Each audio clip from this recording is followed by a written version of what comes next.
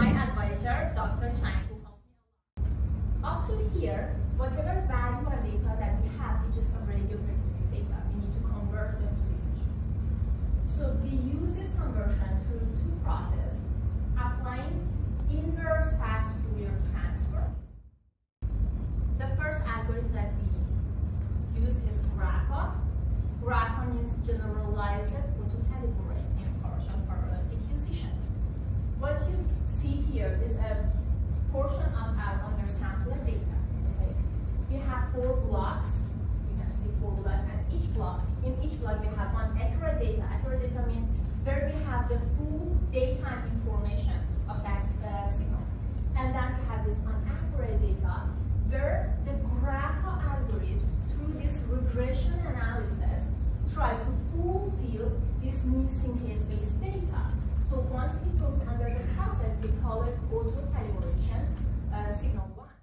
Came up with this conclusion that our assumption, the one that we considered at the beginning, the positive effect of ensemble learning on parallel MRI reconstruction is true. We discovered that applying different weights of learners to bagging technique lead to improved results even if the highest weight applies to the strongest learner and the smallest weight to the weaker learner.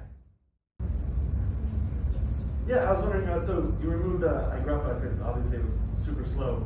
Uh, and then, and then when you when you got the results, did you go back and just try it with iGrappa just to see if you know the, the ensemble results with that one would get even better, or?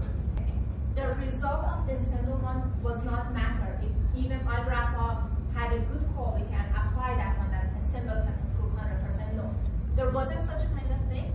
But iGrappa by itself is a good uh, reconstructed algorithm. I see that you tested your algorithm on different data sets. Yes. And uh, these data sets are all brand, right? Yes. Okay, so my question is actually on two parts.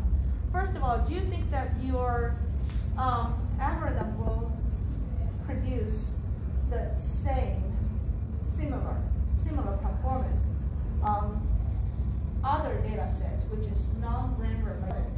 In different data set, it was absolutely different. As you can see, Mhm. like in three different, so the evaluation that came